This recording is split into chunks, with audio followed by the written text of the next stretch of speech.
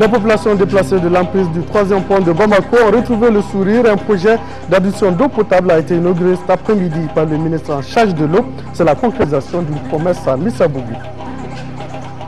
Ils informent parce qu'ils sont d'abord informés et formés. C'est cet esprit qui a motivé la tenue d'un atelier de formation des médias sur les réformes politiques en projet dans notre pays. Nous sommes jeudi 5 janvier 2012. Bonsoir à tous et bienvenue à cette édition. Le Premier ministre Sissé Mariam Kaidama Sidibé a reçu en audience ce matin le premier vice-président de la Cour pénale internationale. Les deux personnalités ont parlé des conditions de détention et des mesures d'accompagnement prises par la Cour. Madame Diara Fatmata Dambélé, qui a été reçue, est ici à sa sortie d'audience au micro de Amadou Ouattara. Avec le Premier ministre, j'ai parlé du projet de la Cour pénale internationale euh, de faire héberger les condamnés de la Cour dans les prisons maliennes. Il s'agit de la mise en œuvre d'un engagement pris par le Mali lors de la conférence de Kampala en juin 2010. Le ministre de la Justice avait déclaré la disponibilité du Mali à recevoir les condamnés de la Cour pénale, tout comme vous êtes en train d'héberger les condamnés du tribunal pénal international pour le Rwanda. Donc c'est pour la signature d'un accord dans ce sens que je suis là. De quoi il s'agit cet accord? Cet accord, j'ai dit, est de signer un accord avec le Mali pour que euh, les personnes poursuivies devant la Cour pénale internationale, une fois condamnées, puissent venir euh, purger leur peine au Mali. Parce que la Cour pénale internationale n'a pas les moyens d'exécution de ses décisions.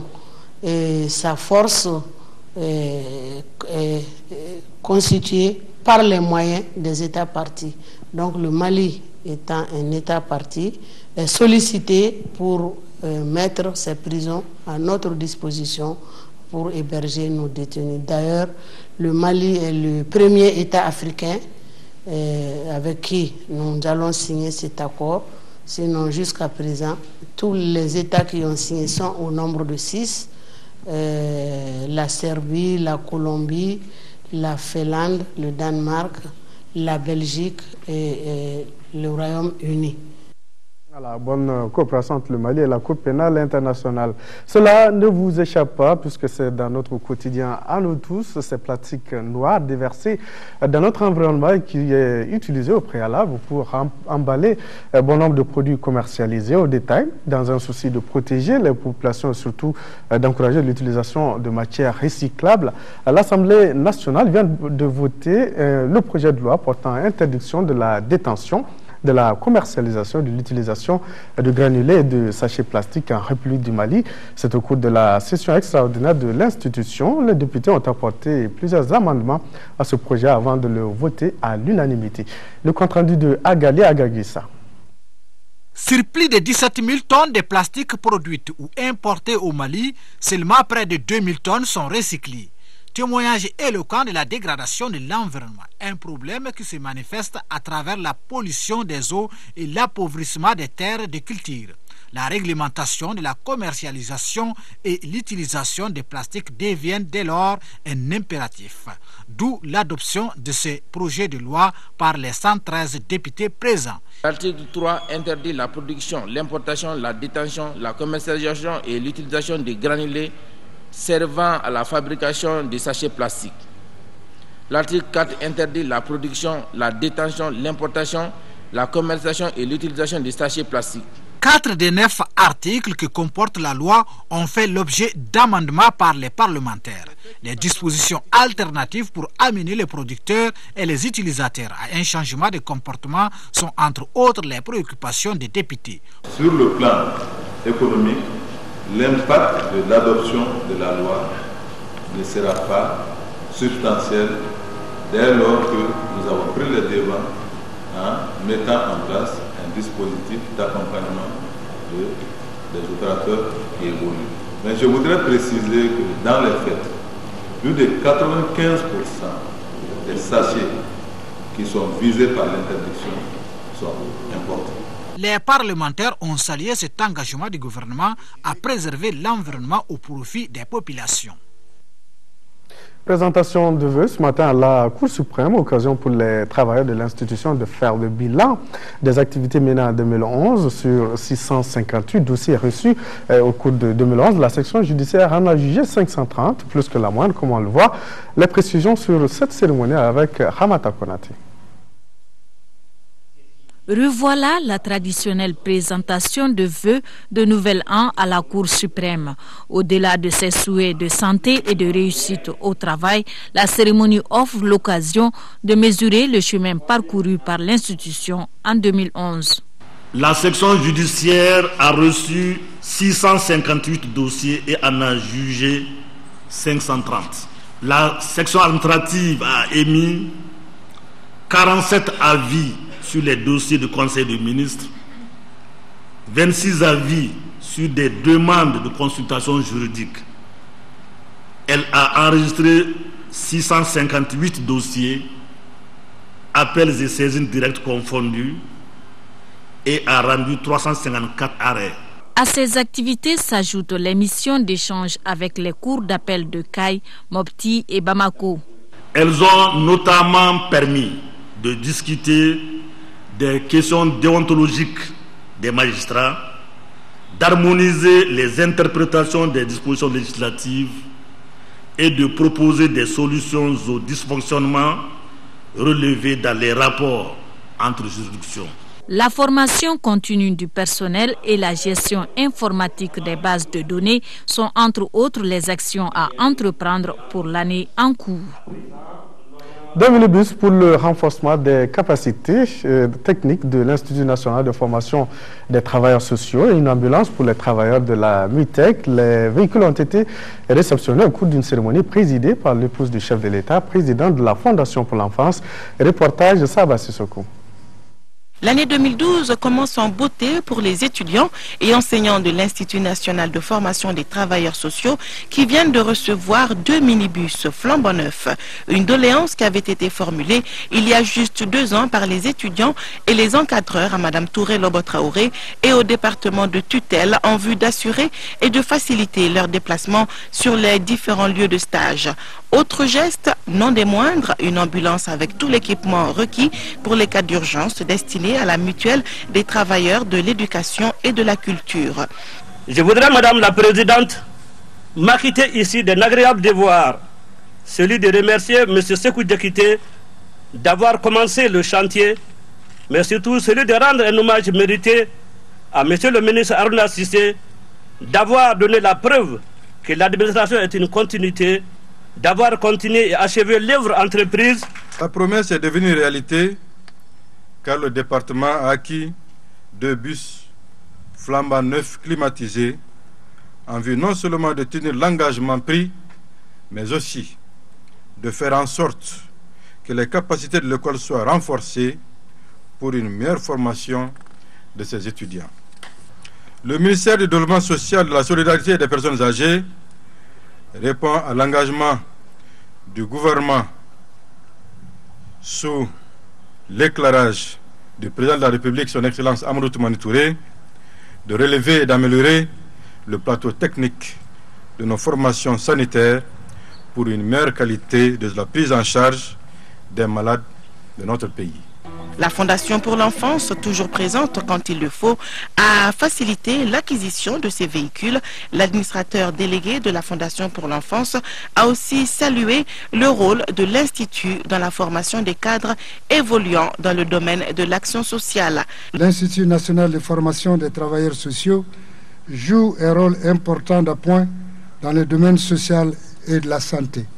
Ce geste de la Fondation pour l'enfance est la manifestation de l'intérêt qu'elle porte à cette institution de formation qui a déjà formé certains de ses propres travailleurs de l'hôpital mère et enfants de Luxembourg. L'opération a coûté au département en charge du développement social environ 130 millions de francs CFA. Au centre de santé communautaire de Tomikoro et de Kalabankoro à Deken, c'était également la fête puisque ces établissements ont reçu du matériel, du matériel d'information et de communication. Les équipements visent à soutenir les deux SESCOM dans leur mission d'amélioration de la santé des populations en utilisant bien évidemment l'outil technologique pour renforcer la communication entre les patients et les médecins. Reportage Djamba Moussa Konati. Des ordinateurs, des caméras numériques, des scanners, des écrans de projection et leurs accessoires, ce sont là les équipements offerts par la Fédération nationale des associations de santé communautaire du Mali et le Centre d'expertise et de recherche en télémédecine et e-santé. Ces matériels sont destinés aux populations de Tomikurubu et Kalabankoro. Cette remise d'équipements consacre également le lancement des activités du projet Amkoulel qui vise à faire des essais avec l'outil technologique de village en village. Formés pour bien utiliser ces matériels pour que ce projet pilote puisse donner de bons résultats. Et euh, nous avons été formés en même temps que le reste de nos personnels et nous ferons en sorte que tous les personnels puissent bien contribuer dans ce projet pour que ce projet pilote puisse vraiment être un, succès. Ce geste devra permettre au CSCOM de monter des spots pour donner beaucoup plus de visibilité aux prestations des médecins. Et tant que les populations ne sont pas conscientisées, tant que les populations ne sont pas sensibilisées, tant que les populations ne sont pas mobilisées, nous allons continuer à vivre la faiblesse de la fréquentation de ces scores. Donc aucune stratégie n'est au-dessus de, en tout cas de cette mobilisation. Et vivement exactement cette euh, innovation. Les bénéficiaires ont rassuré les donateurs de faire bon usage des matériels. Le peuple malien donnera son appréciation des réformes politiques lors du référendum du, 9, 29 avril prochain. Et pour mieux expliquer aux populations l'importance des réformes politiques, un atelier d'échange avec les hommes de médias autour de la question se tient depuis ce matin. Les journalistes vont décortiquer avec les experts de la mission d'appui aux réformes politiques le projet de révision de la Constitution de 1992 est bien éclairé. Ils pourront à leur tour, de façon professionnelle, transmettre l'information aux populations. Le ministre de la Réforme de l'État et celui de la Communication, pour parole du gouvernement, étaient présents à la cérémonie d'ouverture. Salmatadao. Notre pays s'apprête à vivre des événements capitaux qui sont le référendum et les élections générales. Pour une meilleure information et sensibilisation de l'opinion publique, le rôle du journaliste est important. Une quarantaine d'hommes et de femmes de médias venus de toutes les régions du Mali sans exception participent à cet atelier d'échange sur les réformes politiques, particulièrement sur le projet de loi de la révision de la Constitution. Après deux jours de formation, les journalistes pourront transmettre à leur tour l'information sur l'importance des réformes dans le processus de démocratisation de notre pays. Le principal point de la réforme, c'est d'abord la révision de la Constitution. La révision de la Constitution comporte des dispositions importantes. Des dispositions importantes qui touchent le réaménagement du pouvoir au sein de l'exécutif, le, réaménagement du Sénat, le réaménagement du pouvoir juridictionnel, et le renforcement des droits et libertés. Le ministre Konaté a rappelé le rôle important que joue le communicateur dans la vie politique moderne et son devoir sacré de transmettre avec objectivité l'information saine et authentique. Cet atelier d'échange avec les médias sur les réformes politiques aura sans doute à répondre à une de nos préoccupations essentielles, former les hommes de médias pour qu'ils informent le corps social donner aux hommes et aux femmes des médias des outils, des notions importantes sur le projet de réforme constitutionnelle, sur le fonctionnement des futures institutions issues de cette réforme, afin que la presse puisse provoquer et alimenter le débat sur le référendum en toute responsabilité, parce qu'en toute connaissance de cause. La tenue de cet atelier vise à donner aux citoyens une information claire sur le bien fondé des projets de réforme politique, notamment le projet de révision de la Constitution de 1992, sur lequel le peuple malien va se prononcer en avril lors du référendum. Et juste après l'ouverture de cet atelier, le ministre de la Communication, porte-parole du gouvernement, Sédiki Konaté, a eu le temps de s'arrêter ici à la maison de la Radio Abozola pour serrer la main des membres du collectif des travailleurs retraités de l'ERTM et de l'AMAP. Le ministre Konaté tenait à rendre hommage aux anciens, mais aussi demander conseil et bénédiction auprès de Nando Dambélé. Mieux vaut tard que jamais, surtout quand il s'agit du devoir d'un cadet envers ses aînés. Première du genre, la rencontre entre le ministre de la Communication et les travailleurs retraités de l'ORTEM et de la MAP a été très conviviale, fraternelle et même pleine d'émotions. Devoir de mémoire et de reconnaissance, voilà tout son sens. Vraiment, je suis très fier de participer à cette cérémonie. Car c'est le ministre qui a demandé, quand nous avons demandé à aller le voir pour le féliciter, il dit non en tant que jeune, en tant que fils, c'est à lui de se déplacer pour venir. En accomplissant ce devoir de mémoire envers ses aînés, le ministre, tout en recevant leurs conseils et bénédictions, s'est aussi mis à l'écoute. C'est bien de sa part qu'un ministre se déplace voir les, les retraités d'un service. C'est la première fois, à ma connaissance. Ça, c'est action de la part du ministre qui est à saluer, qui est à glorifier même. Et il nous a même promis des choses. Il a dit qu'il va maintenir ce bâtiment, vieux bâtiment, tant qu'il sera ministre. Ça, c'est très important. Ça, c'est faire de l'histoire. C'est regrettable que nous, ici à la radio, les premières machines qui nous ont servi pour faire les diffusions et enregistrements, on les a plus, on ne les voit pas. Je souhaite que la télé, déjà, réfléchisse à cet aspect. Tout en remerciant le ministre pour son engagement pour la sauvegarde du patrimoine de l'ORTEM et de la MAP, les anciens ont aussi émis le vœu d'avoir un siège de léance à laquelle le ministre a prêté une attention toute particulière. Il nous a manqué de peu pour les remettre au travail, ces jeunes reporters et techniciens. Une question qui peut vous paraître banale, mais elle ne l'est pas pour les entreprises. Quel impact ces dernières, les entreprises, peuvent avoir sur l'amélioration des conditions de vie des enfants? La question est tellement importante qu'elle a fait l'objet d'une étude dont les résultats viennent d'être publiés, intitulée Responsabilité sociale des entreprises en faveur des droits des enfants. L'étude vise à impliquer davantage le secteur privé dans la promotion et la protection des droits de la petite enfance. Cette étude a, été commanditée par l'UNICEF et le ministère de l'Industrie, des Investissements et du Commerce et des Statistiques. Révèle qu'au Mali, un enfant sur deux, tenez-vous bien, est affecté par une privatisation sévère en matière d'accès aux services sociaux. Brahma Traoré. Quand l'intérêt d'un combat est compris, l'adhésion devient facile. Tel semble être le cas pour la lutte contre les violations des droits des enfants au Mali. Parmi les alliés, il faudra désormais compter les entreprises maliennes. C'est du moins ce qui ressort d'une nouvelle étude réalisée intitulée La responsabilité sociale des entreprises en faveur des droits des enfants. Cette étude vise à contribuer à la promotion, au respect et à la protection des droits des tout-petits. L'étude laisse entrevoir aussi des perspectives heureuses en vue d'améliorer les conditions de vie des enfants à travers notamment le renforcement de la synergie entre l'État, le secteur privé et la société civile. Cette étude fait du Mali un pionnier au niveau mondial. Cette étude consistait à déterminer quel impact pouvaient avoir les entreprises pour l'amélioration des conditions de vie des enfants et comment y parvenir. À cette fin, une série de recommandations ont été euh, effectuées. Parmi ces recommandations, le lancement d'une plateforme du secteur privé pour l'enfance au Mali, la mise à disposition d'outils pour faciliter l'intégration des droits de l'enfant dans les politiques et activités des entreprises. À ces recommandations s'ajoute la promotion du concept responsabilité sociale des entreprises dans l'économie informelle. Pour leur mise en œuvre, les responsables du secteur privé s'engagent. Nous nous engageons avec vous à continuer l'information et la sensibilisation au niveau des entreprises pour que les entreprises s'impliquent résolument. Le ministre de l'Industrie, des Investissements et du Commerce n'en dit pas moins. Pour Mme Sanre Nyamutoba, un défi commun nécessite un engagement commun.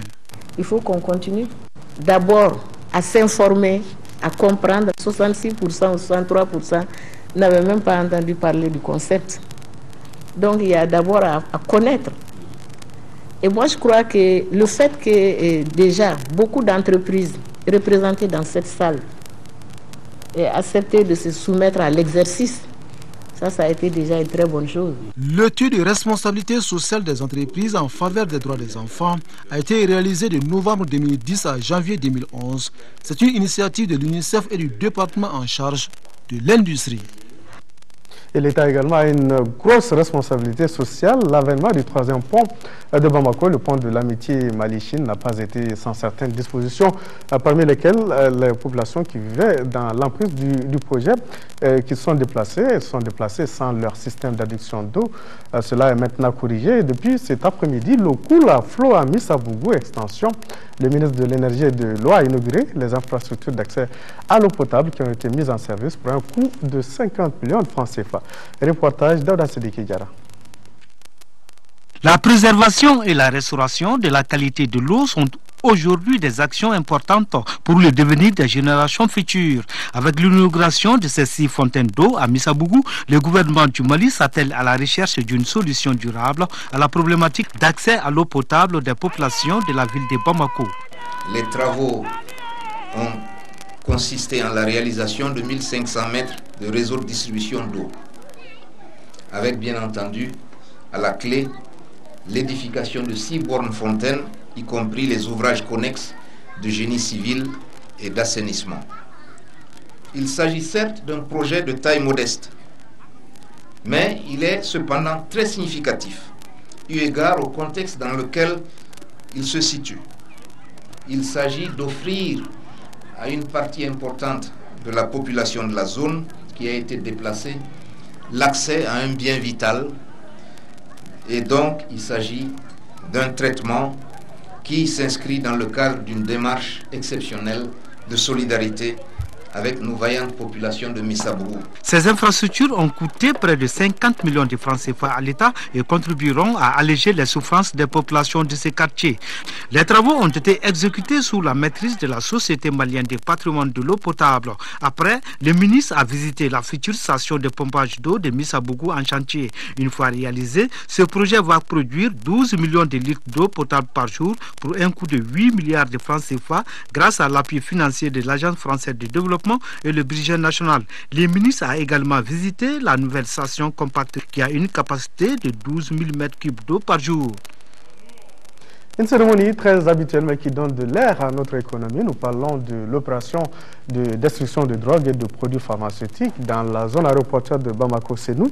L'événement a resté la présence des ministres en charge de la santé, de la sécurité de l'économie. Cette action doit aussi contribuer à la bonne santé et à la sécurité des populations. Ce coup de flamme est le début de l'incinération de 606 grammes de cocaïne, 200 grammes d'héroïne, 641 kg de cannabis et une quantité importante de produits pharmaceutiques. Une opération qui traduit la volonté des plus hautes autorités du Mali à assurer une bonne couverture sanitaire dans le pays. Ces produits-là ont des effets néfastes sur la santé de la population et aussi créent des distorsions graves euh, au niveau de la société. Si nous ne détruisons pas ces stupéfiants, c'est eux qui vont nous détruire. Donc il est aujourd'hui bon que tout le monde se mobilise pour qu'on puisse euh, euh, lutter contre les stupéfiants qui sont en train de miner notre société, surtout au niveau des jeunes.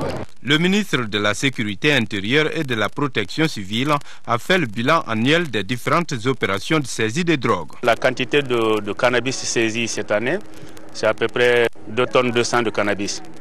Et la quantité de, de cocaïne, c'est à peu près 23 kilos qui sont saisis. Donc avec ces 23, euh, je pense que ça montre quand même que ça circule.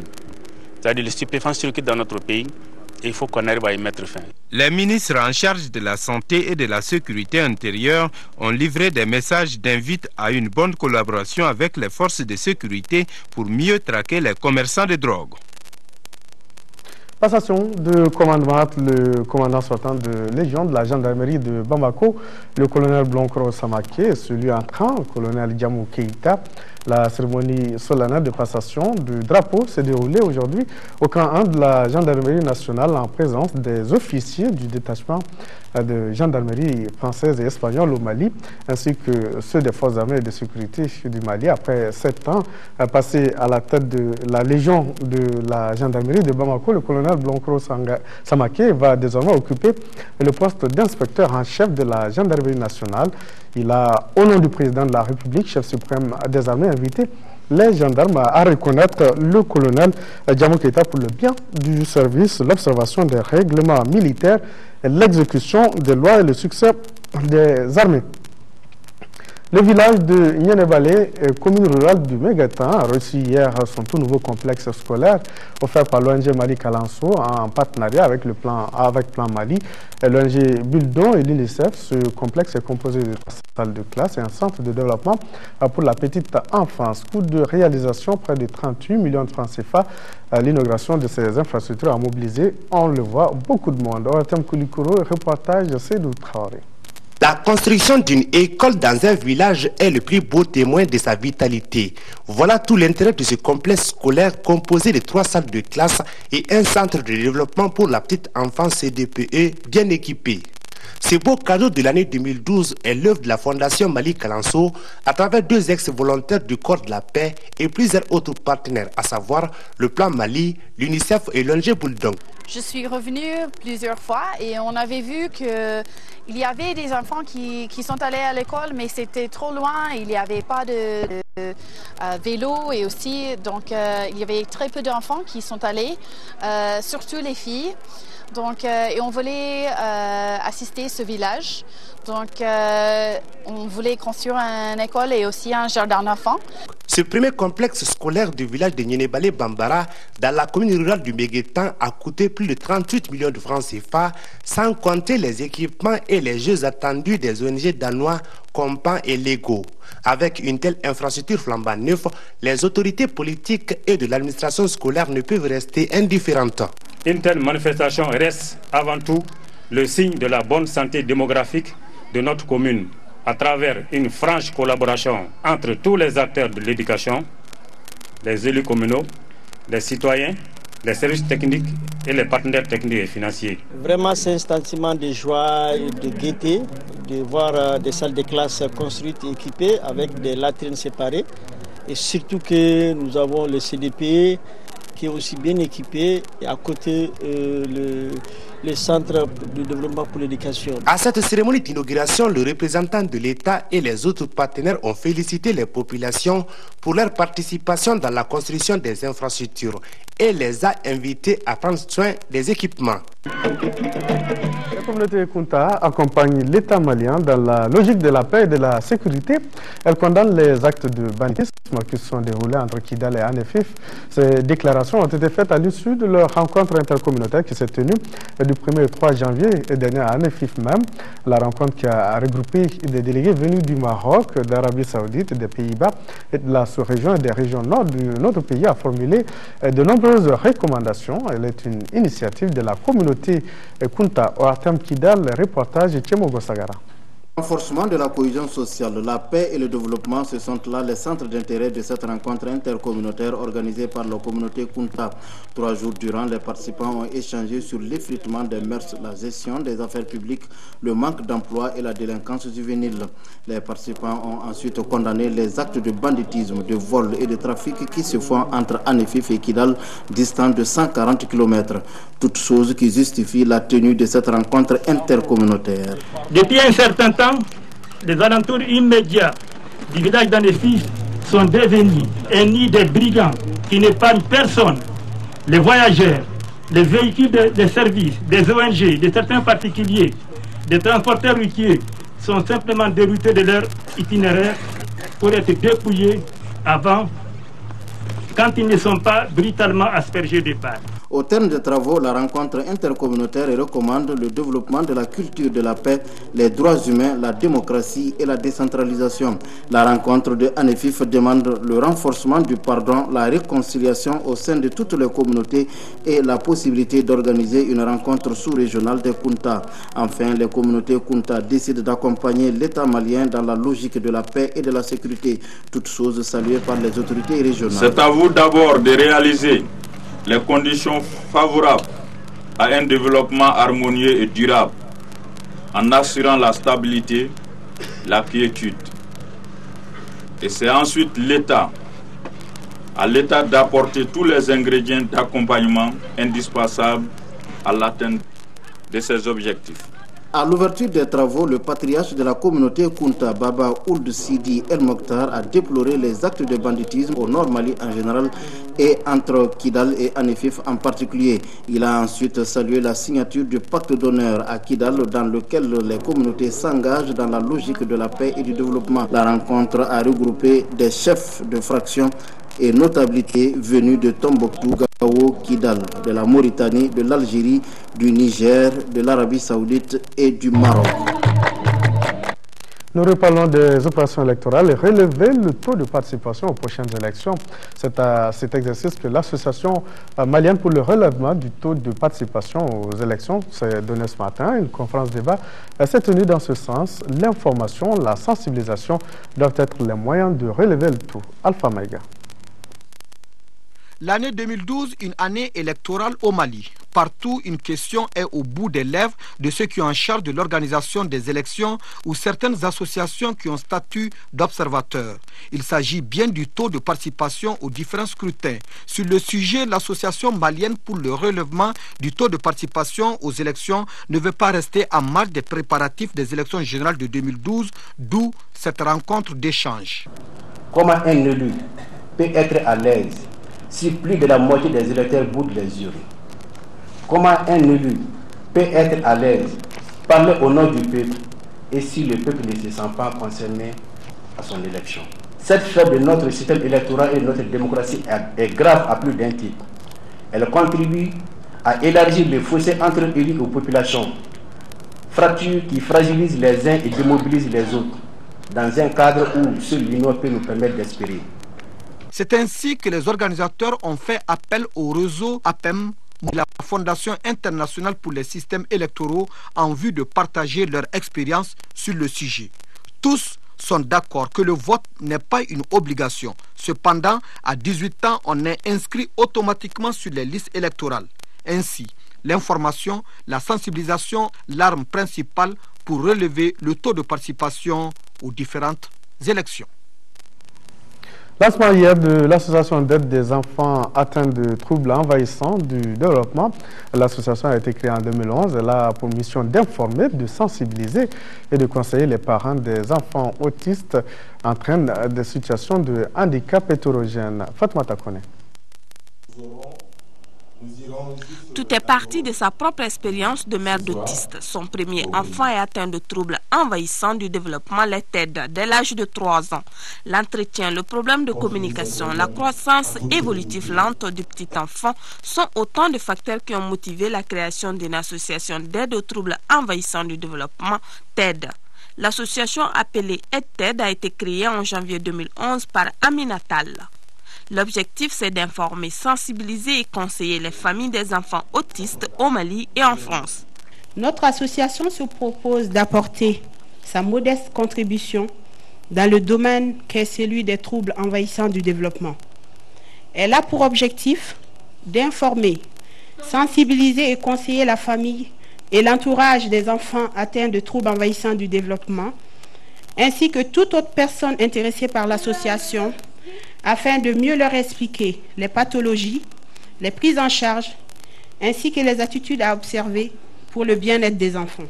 Lors de ce lancement, l'assistance a pu visionner un documentaire sur les troubles envahissants du développement TED. Dans ce document, les invités ont trouvé la réponse à certaines questions telles que la manifestation de la maladie, le nombre d'enfants vivant avec les TED en Afrique et en Europe, entre autres. Après la projection du film, le directeur de la Maldem a relaté son expérience vécue auprès de ses enfants. L'association EdTED envisage de travailler avec les autres associations aidant les déficients mentaux au Mali. Un mois de culture, c'est parti pour le festival Alifa Touré, musique et culture. Pendant cinq jours, les potentialités culturelles de la contrée s'exposent à travers visites euh, touristiques, conférences conférence débat et exposition d'objets d'art réunissant les huit communes rurales du cercle de Niafunché. Le festival Ali Touré, le deuxième dans la ville natale de célèbres artistes, euh, vise à consolider la paix et la sécurité entre les Maliens. Sport football, le championnat national Ligue 1 a bouclé hier sa cinquième journée avec deux rencontres au stade Modibo Keita. La gendarme a battu l'ASB sur le score de 2 buts à 0. Le stade malien de Bamako, un peu plus tôt, avait gagné par le même score face au COB et s'installe en tête du classement. Compte rendu Isaac Chenou. Le retard de 35 minutes accusé pour raison de sécurité n'a rien enlevé du spectacle attendu de la confrontation Stade malien de Bamako, champion en titre, et le club olympique de Bamako. Match au sommet de cette cinquième journée et dans une partie aussi engagée, le Stade malien de Bamako reçut l'ouverture du score. La mine Diawara a permis aux Blancs de prendre l'avantage. 1 à 0, score à la mi-temps. Deuxième acte de jeu, le COB accentue la pression. Le Stade subit mais contient les associés olympiens. C'est dans cette situation que les Blancs de Bamako parviennent à crucifier leur adversaire par ce but de Mohamed Koumaré à la 90e minute de jeu. Le Stade malien l'emporte par deux buts à zéro. On a rentré les 2012, donc il faut qu'on gagne. C'est 2011 là, le dernier match on a gagné. Donc on a rentré les 2012. Aujourd'hui la scène c'est très importante. C'est le Sobi a gagné la Coupe du Mali aussi contre Stade. C'est un petit, petit problème aussi, les Super Coupe on n'a pas joué. Donc c'est aujourd'hui match là, on a pris comme un final quoi. Je pense que c'est l'expérience qui a pris le pas sur la jeunesse. Donc c'est normal qu'en premier mi-temps que les jeunes viennent un peu crispés. On a mis du temps à rentrer dans les matchs, mais tout le monde a vu en seconde mi-temps. Euh, les jeunes ont eu les ballons, ils ont joué. Je crois que quand tu vas euh, voir les statistiques, euh, je crois qu'on a dominé la possession en deuxième mi-temps. Mais tel n'est pas le football, c'est le résultat qui est important.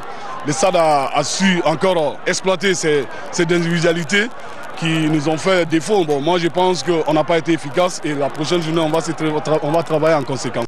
La deuxième rencontre de la soirée a lieu entre la gendarme de Bamako et l'ASB. Cinq minutes ont suffi pour voir l'ouverture du score. Boukadari Fomba donne la voix à la gendarme. 1 à 0 et plus rien jusqu'à la mi-temps. Dans le deuxième acte de jeu, le bleu et blanc profitent de la largesse de la défense de l'ASB pour planter un deuxième but signé Boubacar Mariko. 2 à 0, score final. L'agressivité dont on n'a pas fait preuve à partir du milieu de terrain. Voilà ce qui nous a causé problème. Bon, l'ASB, ce sont mes amis des matchs amicaux. Chaque fois, j'ai fait mes matchs amicaux avec l'ASB et l'USFA surtout. Donc, je savais bien, je connaissais les joueurs là. Bon, je dis, si on passait dans les duels, on va gagner, remporter les matchs. Bon, ASB, il a pu tenir, mais en fin de match, il a laissé les bras. quoi. C'est pour cela que j'ai pu remporter.